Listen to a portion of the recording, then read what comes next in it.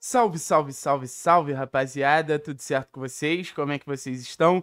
Seguinte, meu povo, não é nenhuma tentativa minha de fazer uma previsão que o Atlético vai ganhar. Muito pelo contrário, estou extremamente receoso, extremamente preocupado com esse jogo. Se tem algo que eu não quero me atrever é falar, ah, o Atlético vai ganhar. Alguns amigos é, até vieram me pedir dica de aposta lá na KTO, sabe? E eu falei, cara, eu não sei se eu apostaria no Atlético nesse jogo, não, porque é um jogo que eu acho que ainda gera muita dúvida, né? Porque, por exemplo, se a gente ganha do Criciúma, eu falo, vai com tudo contra o Flamengo, que eu acho que vai dar certo.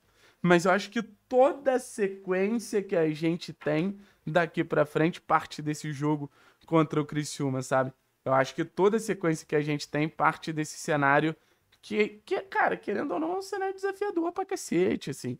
É, é, é você pegar um time muito traiçoeiro, um time que, que já dificultou a vida de times até melhores que o Atlético, como é o caso do Galo, e, e, você ter uma necessidade muito grande de vitória nesse jogo, você ter uma necessidade de, de dar uma resposta muito grande nesse jogo, né? Então eu acabo ficando preocupado, porque além de tudo é o contexto que o Atlético vem se ferrando mais, assim que é jogar contra defesas fechadas, jogar contra retrancas. A gente sabe que o Tencate é um bom treinador e, e, e, a partir disso ele sabe toda a limitação que o Criciúma tem nesse contexto de Série A e por isso precisa jogar mais fechadinho, mais reativo.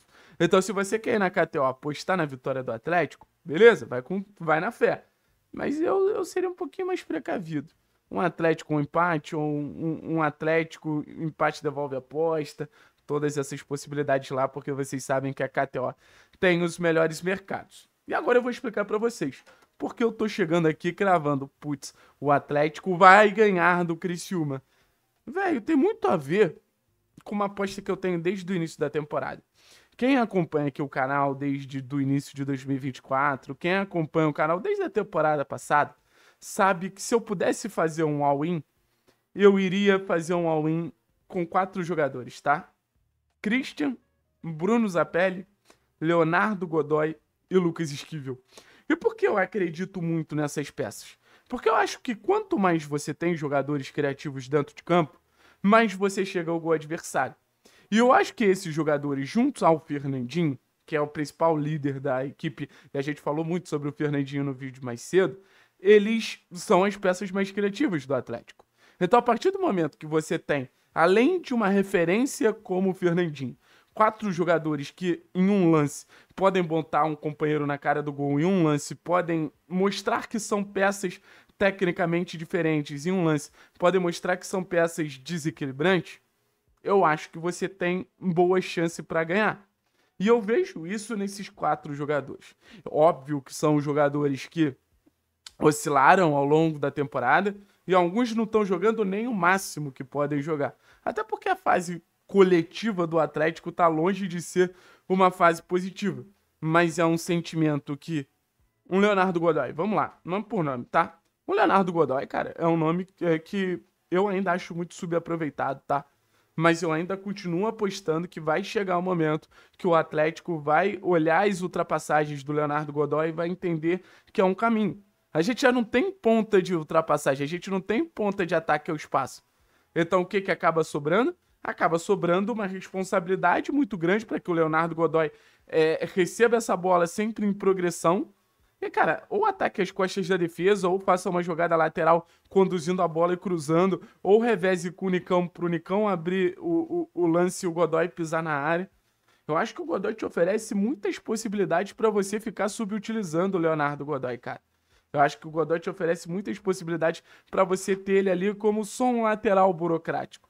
Liberdade pro Godoy, velho. Liberdade. Faça ele ser uma peça mais presente no seu campo de ataque, como o seu lateral esquerdo vencendo. Como o Lucas Esquivel vencendo uma peça tão importante. Ah, Thiago, mas o Esquivel... Irmão, o Esquivel é um dos jogadores que mais criou chance de gol no campeonato. O Esquivel é um dos jogadores que mais participou de gol no campeonato brasileiro. Você vai falar o que do Lucas Esquivel? Se existia algum receio que o Lucas Esquivel era uma peça que podia contribuir de maneira significativa no setor ofensivo do Atlético, acho que depois que o Cuca chegou e dá essa liberdade pro Lucas Esquivel, pô, velho, eu não sinto como o Esquivel não, não nos ajuda. É, é completinho ali. Defende muito bem, constrói muito bem, aparece no último terço muito bem. Para mim, o melhor lateral esquerdo do futebol brasileiro. Participando de gols, volto a dizer, criando muitas chances e sendo uma válvula de escape para o jogo do Atlético.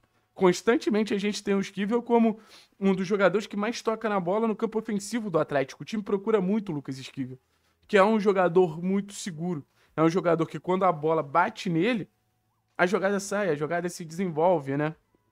Aí você tem mais dois, que para mim fariam uma dupla, cara, foda, assim. Eu acho que é uma dupla que as características se complementam muito. É uma dupla que eu acho que, que, que o, o encaixe é muito óbvio.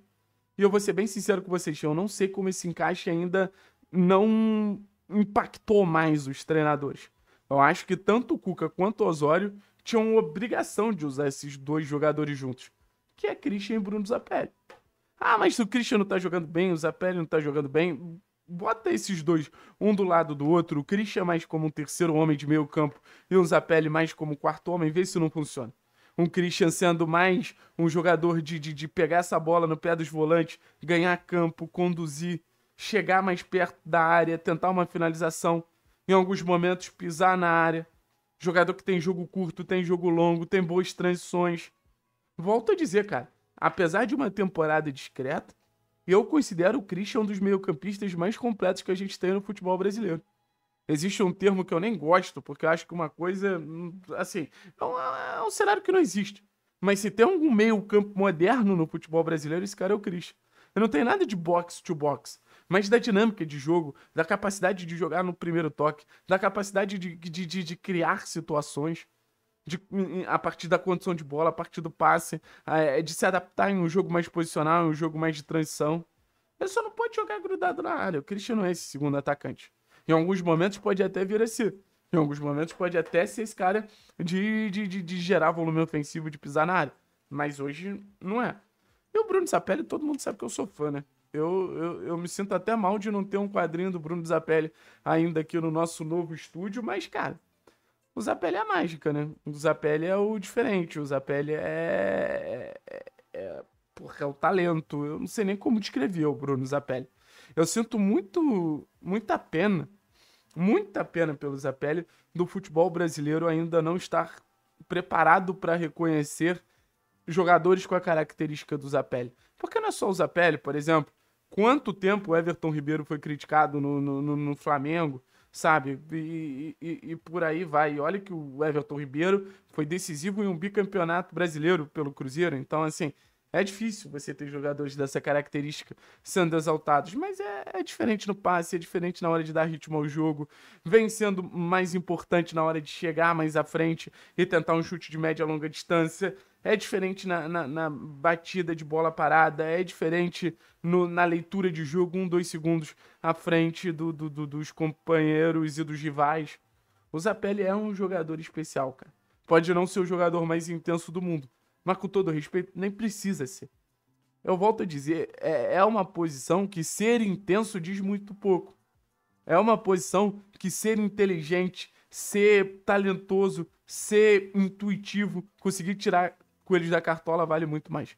E, e isso tudo o Zapelli consegue fazer com louvor. Então, assim, o, o Gonzalo Maestrani recebe uma oportunidade de ser esse atacante titular do Atlético contra a equipe do, contra a equipe do Criciúma e acho que chances não vão faltar.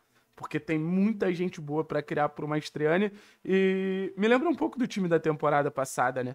Que era um time que criava muito, não adianta só criar, precisa converter. Mas acho que o Atlético de jeito nenhum pode perder essa veia de ser um time que, que, que produz muito, que cria muito, que gera muitas situações. Valeu, pessoal. Tamo junto a nós.